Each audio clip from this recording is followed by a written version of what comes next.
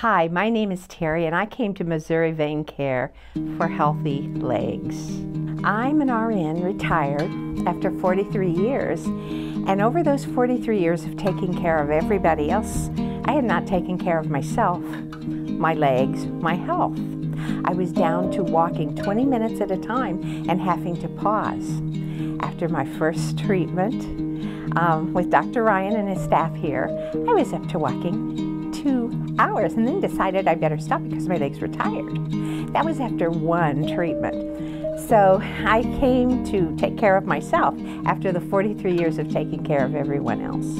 A very good friend of mine said, Teri, you know, this might be the thing you need. No, no, no, I, I'm not into cosmetic surgery. No, well, this really isn't cosmetic surgery.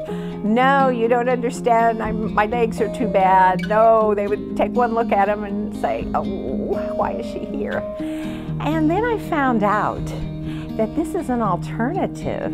This is not so much about um, great looking legs, though you do get them, but it's about the overall health of your legs.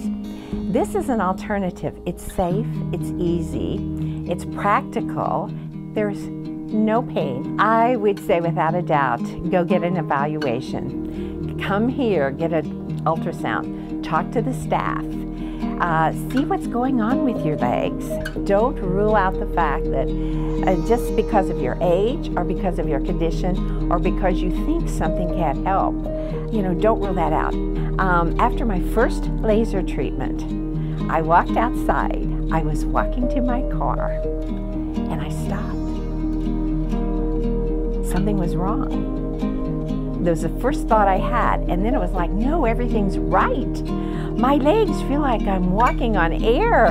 They're springy. They feel good. They're not tired. They're not heavy. And that's when I went and walked two hours.